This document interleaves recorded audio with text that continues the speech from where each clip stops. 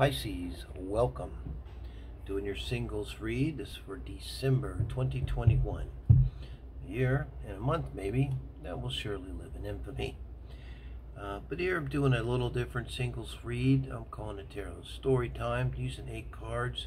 But instead of doing the Meet the Soulmate read, which describe your soulmate, I'm going to start with you. I'm finding that helps me more and kind of get a track on you and uh, look at some span of your life. Uh, we'll see what comes up when I pull the cards. And I'll pull all of them at once when I do this reading. Give me a minute to think about it. And try to tell a story of what you've been going through. And then the last two cards should reveal uh, the future outcome. Um, hopefully, it'll be a person for you here. We'll see. If there is, then we'll get an idea what they may be like. Okay, so again, we're going to kind of go with the emotional moon, um, similar to what I call the four pillars and the star, hmm, major arcana. And this is the emotional, intellectual, love, and uh, sex aspects and lifestyle core values. Um, same as I look at with the singles read for Meet the Soulmate. Queen of Pentacles in the intellectual position. I'll show you the cards again as we go along. Four Swords. Um, and we've got the Lovers. Hmm. In the uh, love and sexual position. And the Eight of Cups. Interesting uh, combination there. Uh, a lot of emotions here.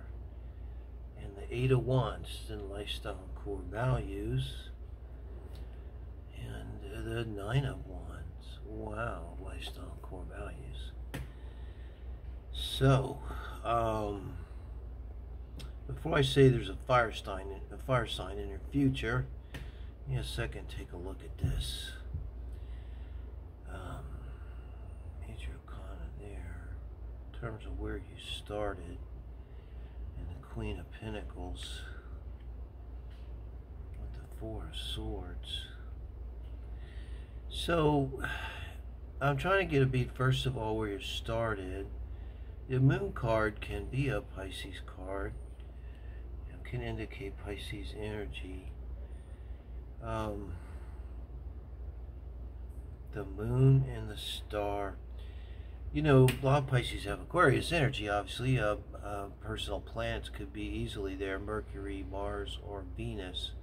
That could be relevant, particularly with you got Saturn and um, Jupiter rolling through Aquarius right now.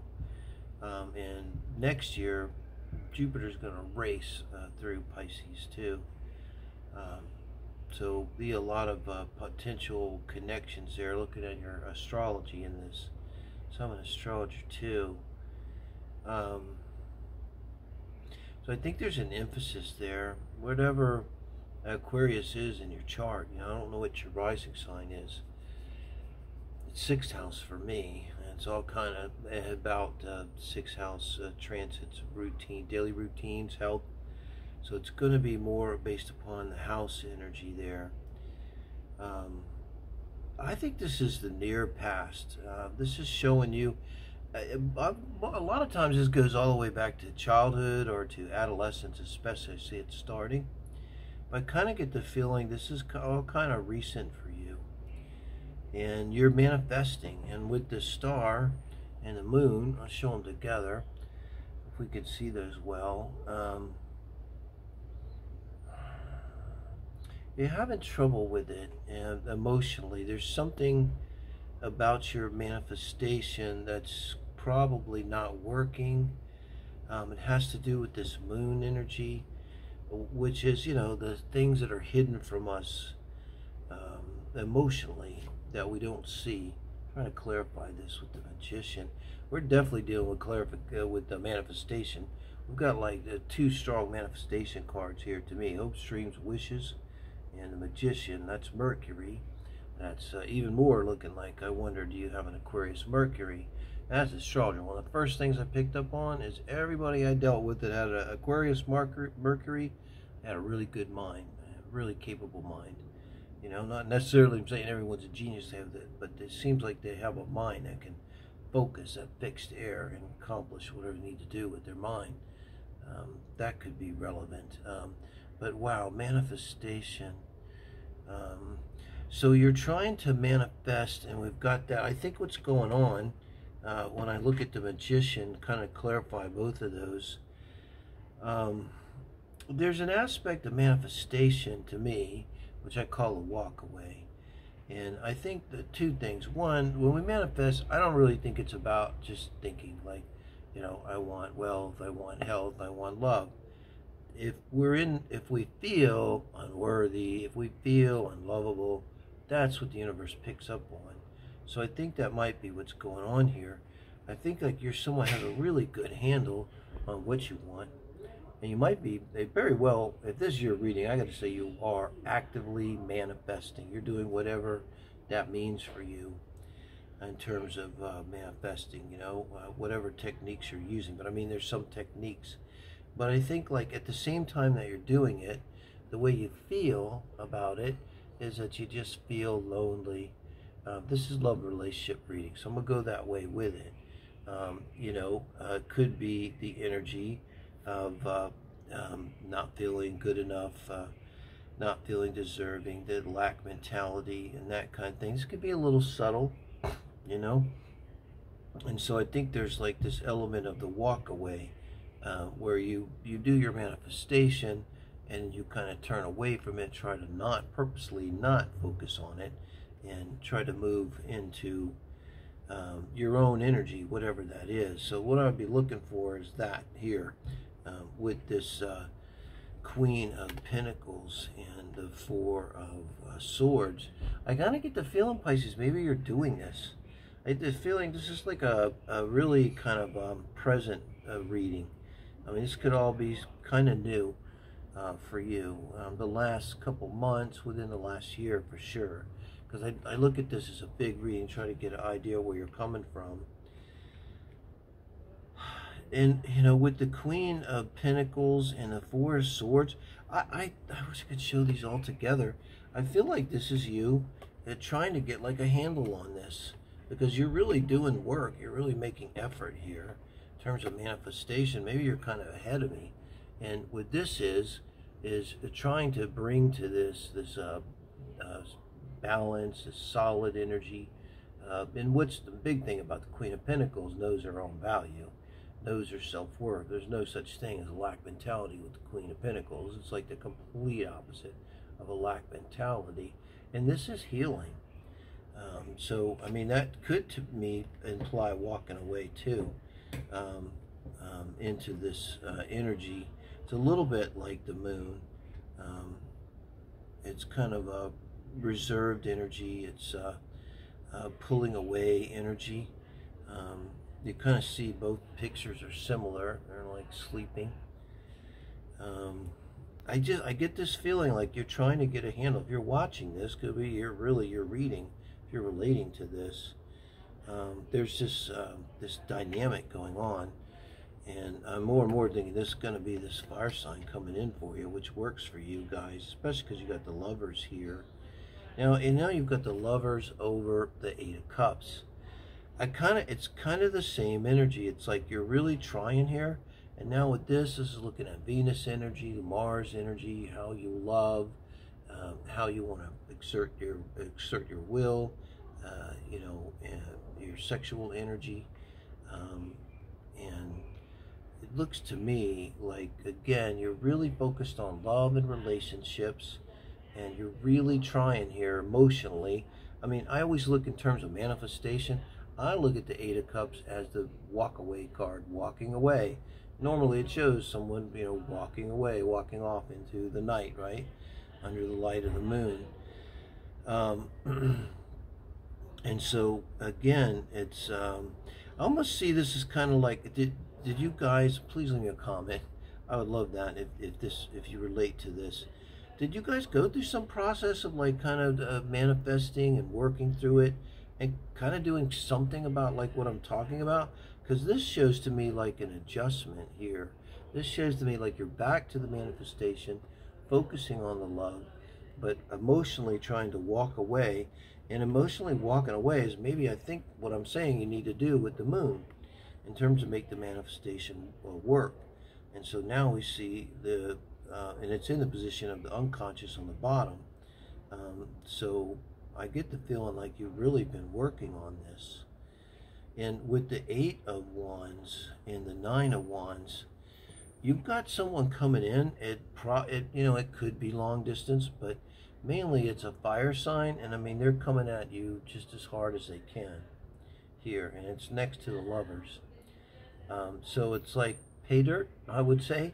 Um, and a fire sign, you know, sun by sun energy goes well uh, with the Aquarius energy. Um, but with the Nine of Pentacles, um, there's an element to the person uh, that's coming in uh, that's like too much, too much. This Eight of Wands is too much for you. So I'm going to clarify that because that's what I'm getting. Um, you might have the sense like um, uh, this is what you want. I think it's coming next to the lovers. Um, it's like you really got like I don't know how you would put it like a live one you really caught a live one. Uh, this would be someone that's uh, if they're at any kind of distance or coming to see you, getting in a car and driving, getting in a plane and flying, uh, whatever they have to do, uh, and making it very clear that they're into you. Um, but I get the feeling with this Nine of Wands that this is like you feeling like it's something about it that's too much, too much. And I think that's a little bit of a red flag for you. Um, this uh, Nine of Wands here. A little bit of a red flag. Um, it's like they're just coming in a little too fast, a little too hot. You know, could kind of be the en energy of like, you know, what have I done?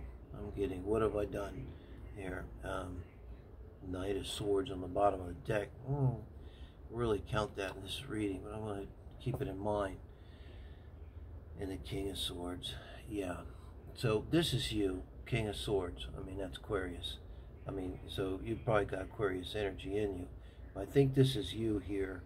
And you're going to step up if you're not already. And you're going to be very direct in how you deal with this. Um, and that's definitely what you're being invited. Look at the size of that sword. So this is you um, basically like calling them out. Um, I got the feeling right now it this is not necessarily a deal breaker. It's like you you have to be very direct and talk to them about what you're feeling in terms of being a little uncomfortable, feeling like there's a red flag. Not to use a red, red flag, but you could say like, you know, I, I feel like you're coming on awfully strong for something just starting. And this is so fire sign. This is somebody with this Eight of Swords I mean, they're going from like zero to 100 like that.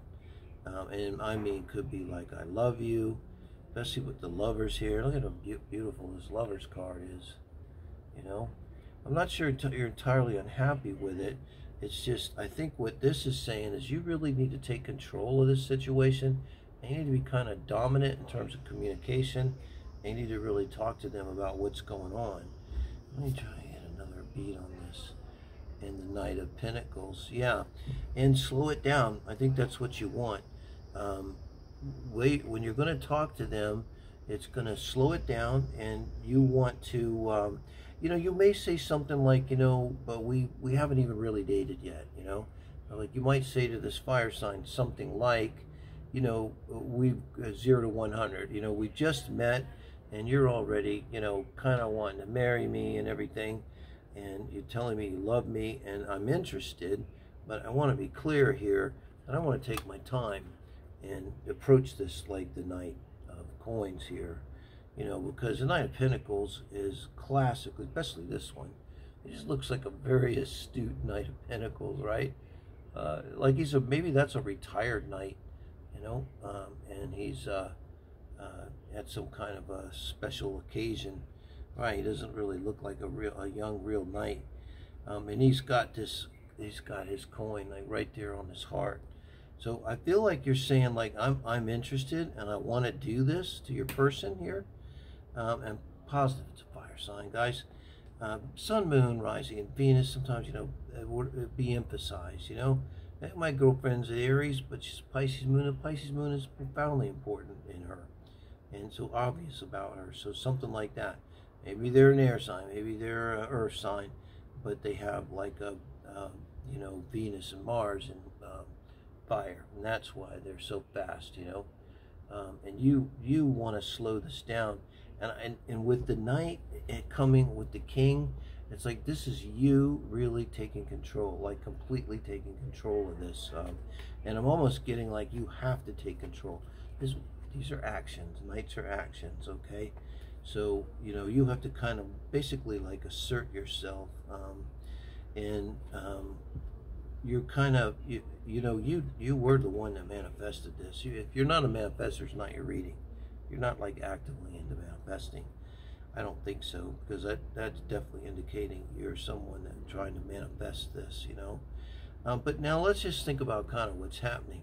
If you're kind of going in this, and I think you're trying to make the adjustment, you're getting more grounded and more directed towards of your manifestation. Um, but you're kind of going into it uh, um, feeling lonely, feeling like you really need someone, really want someone, and you're what you're getting I think with this is someone that's coming in that feels a little desperate, a little too quick. And isn't that maybe kind of the, the shadow side of this energy maybe you've been trying to get a handle on? And so my advice is I think exactly what, what this is saying. You know, really get clear, really be clear, be direct, be kind of commanding here with the King of Swords, and then take control of this and slow it down and have it move at the pace you want. I mean, if you're the one that manifested it, and I get the feeling like they're probably going to go along with your lead. You know, if if you uh, come in strongly and communicate strongly and assertively and show interest and just take this kind of control, um, you know, um, I think this person is going to go along with it. You know, it's what I see here, guys. So let me know. And now keep in mind, um, this person um, this could be future energy. You might not have seen this person yet, uh, but this is a December reading. So sometime in December, this will be coming in, like for sure, guys. So let me know what you think of that. That's my last reading for December. And uh, give me like, thumbs up. Um, share if you can think of anywhere that you might could share this. It sure would help me out. Any platform where it might be uh, relevant. And please do subscribe, hit the bell if you haven't. Thank you guys.